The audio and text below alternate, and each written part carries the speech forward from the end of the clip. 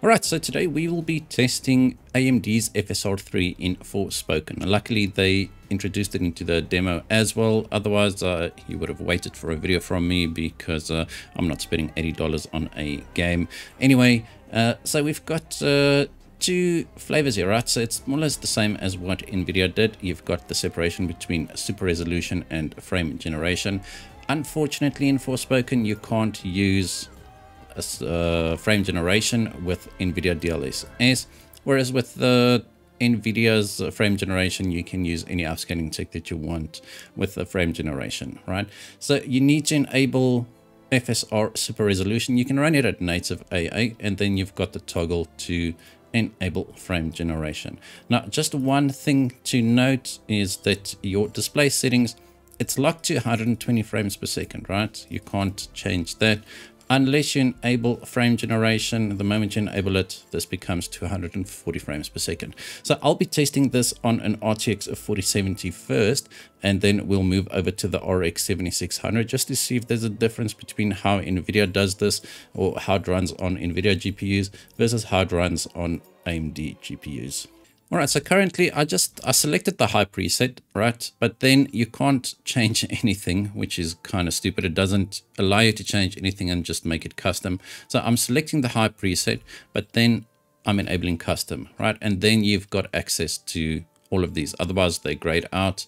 Know why it's done like that. Uh, as I said, I'm not a big fan of this game. It's, uh, it's not the best thing out there. Anyway, so we'll be testing with it uh, off first. I'm just going to be testing the frame rates. If you want to see visual comparisons, better wait for the Digital Foundry video. They do a lot better job than me at uh, that specifically. Anyway, enough time wasted. At a native 1440p on the high preset, let's see what the differences are.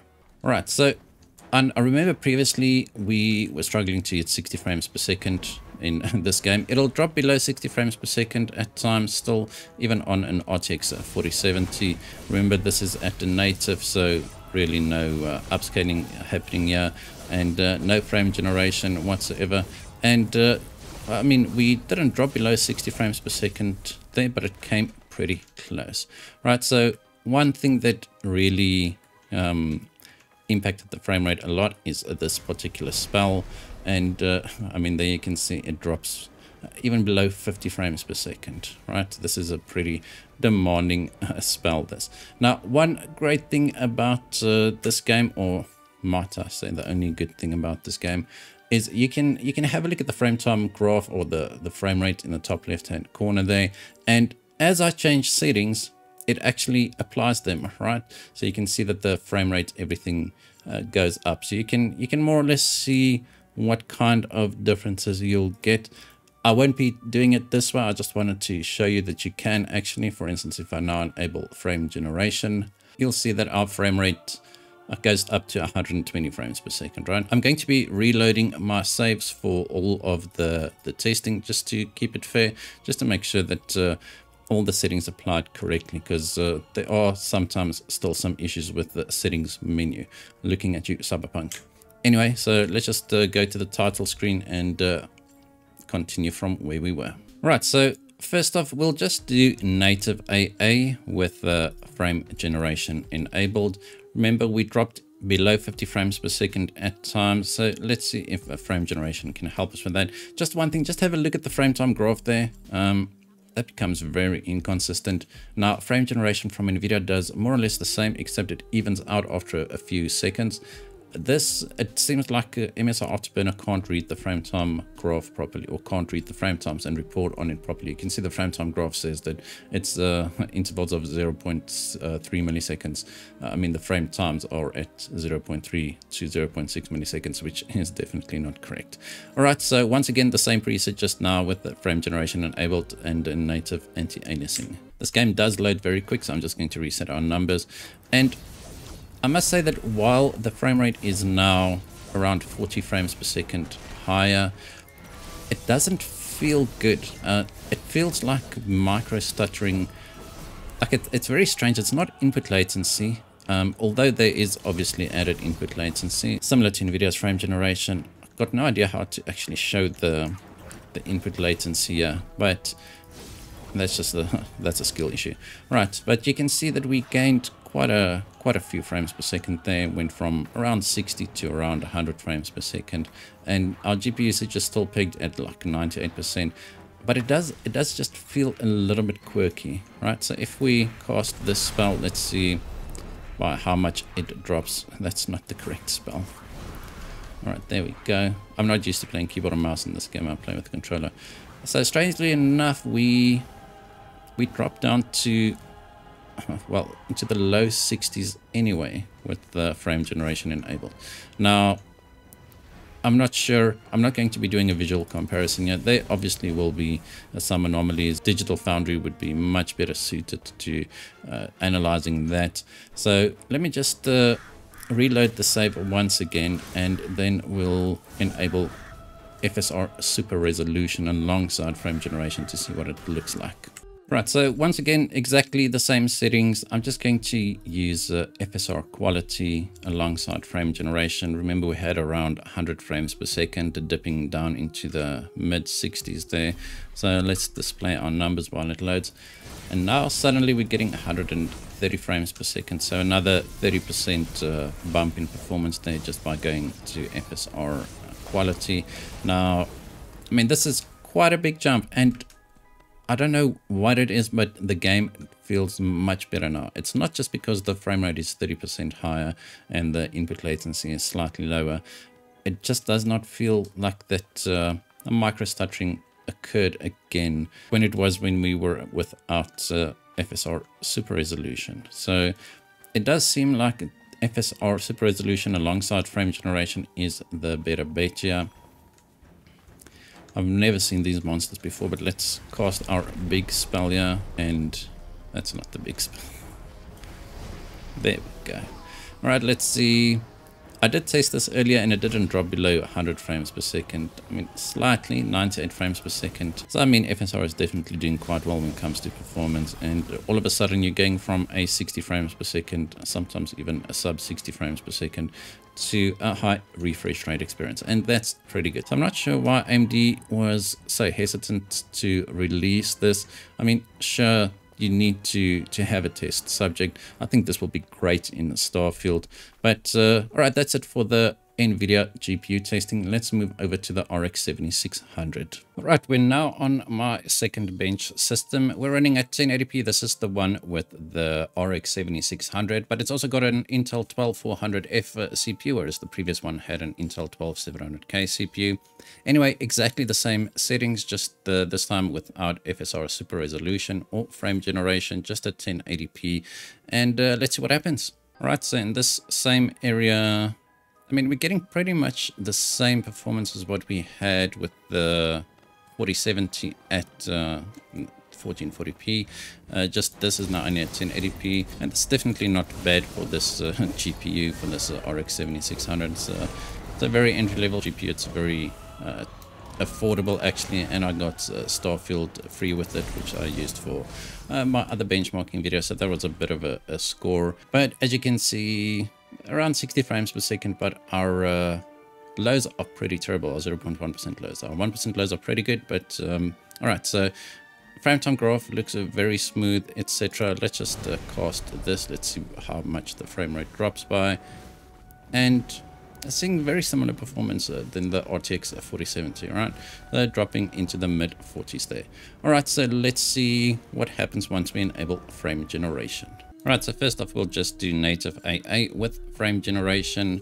And funny enough, you can still see that the frame time graph is extremely um, broken. That's the correct word. So we're not getting any difference uh, with regards to the frame time graph or the frame time pacing uh, between AMD and NVIDIA GPUs.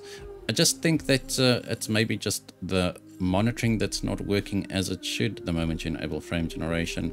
I don't think that's a fair representation of the frame time graph, obviously because the frame is not being rendered once every 0.2 milliseconds. Alright, so this is just with native AA frame generation enabled. Previously on the 4070 we got around 100 frames per second. Let me just reset my numbers here. And I mean now it seems like we're getting a little bit more uh, than on the RTX 4070. This is not a comparison between the two GPUs at all. This is me showing the difference between AMD and NVIDIA GPUs when it comes to frame generation, just to see if there's any differences. So let's just cast this again. And we're dipping into the 80s there. So it's definitely not a terrible experience. If you want a high refresh rate experience on an RX 7600, it now definitely is possible. All right, so let's see what it looks like the moment we start enabling FSR Super Resolution as well. I'm just going back into the title menu just to make sure that all the settings apply properly. You can change all these settings in game, but uh, just to make sure that everything is okay, I just go into the title menu. Not that that ensures it, but I think it's just uh, one additional step. All right, so let's uh, reset our numbers. And once again, we're getting 165 frames per second here, 150. So definitely a very good experience. And with FSR Super Resolution, the game definitely feels a lot less stuttery. With only enabling frame generation without using FSR Super Resolution, the game does feel kind of stuttery. Like it's it's like a mini micro stutter. It's not a micro stutter. It's not a mini stutter. It's something in between, and it is definitely noticeable. All right, so let me let me just uh, cast this spell and uh, see if we can maintain a high refresh rate experience here. I mean, staying above 120 frames per second, and that's actually pretty good. Now, I just want to see if we can get the latency monitor up here using Anti-Lag Plus, so I'll be right back. Right, so I managed to finally get anti-lag plus enabled. For some reason, this toggle just wasn't there.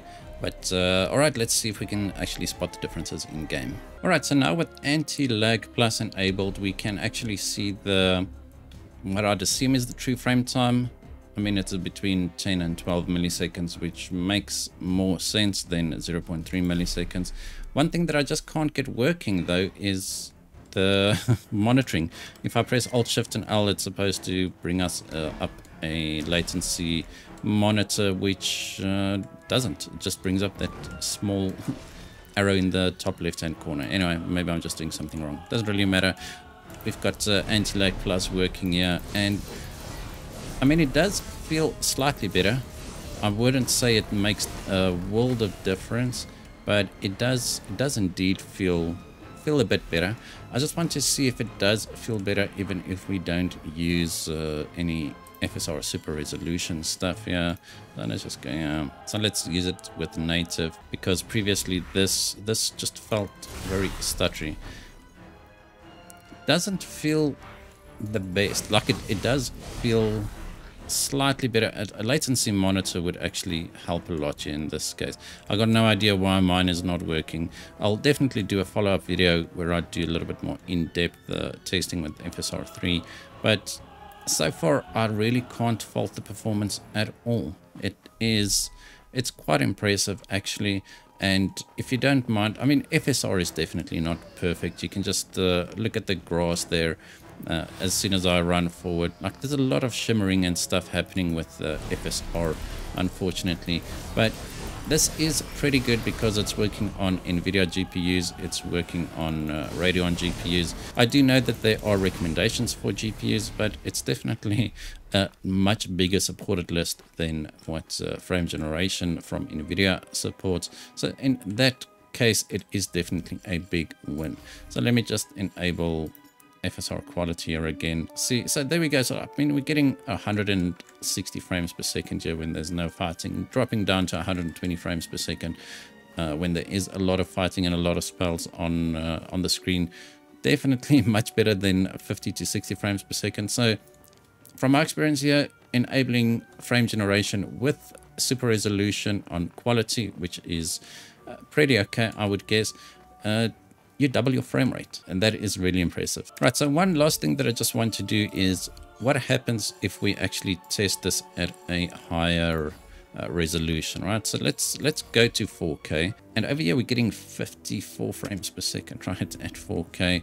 But this is with FSR set to quality and now there's a definite like a change in input latency. The game looks amazing. I mean, it doesn't look amazing in movement, and you can see we are at around 33 milliseconds for, for the frame time graph, right? So that that amounts to around 30 frames per second actually. So maybe that gives us a better idea of what the input latency actually feels like.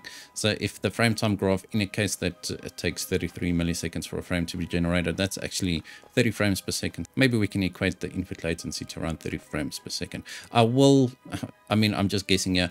I will uh, do a follow-up video where i get the latency monitor working obviously but uh, for now we're just focusing on the performance right? So let's just go down to performance. I mean performance at 4k is definitely still doable and we're not gaining much right? So just look at our i mean there it goes. So now it's at 72 74 it takes a while for it to to actually do something. So all right so at 4k with frame generation fsr super resolution at ultra performance, we're looking at 80 frames per second, right?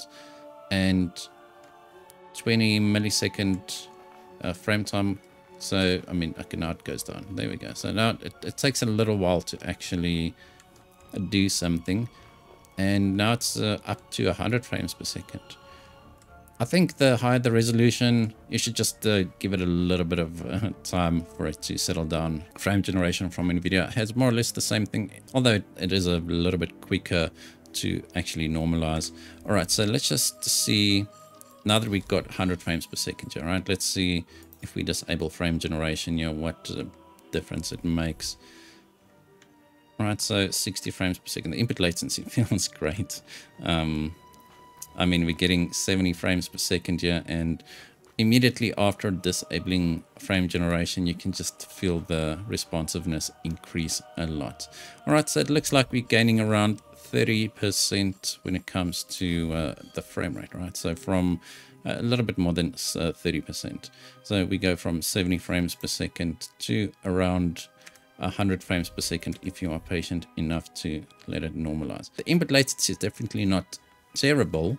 I mean, for a game like this, I wouldn't mind playing like this at all. It's just that at the base frame rate at uh, 50 frames per second, it is slightly low and it's the same on NVIDIA's frame generation as well. When you've got a lower base frame rate, the input latency is a lot higher and it is definitely a lot more noticeable. So for that, I would I'd recommend getting around 60 frames per second plus, but you can see that frame generation works even at 4K, uh, and this is actually pretty good news. I think this is pretty impressive for AMD's first try. Alright, that's going to be it for this video. Hope you guys enjoyed it. If you did, hit that like button, hit that subscribe button, and as always, we hope to see you in the next one.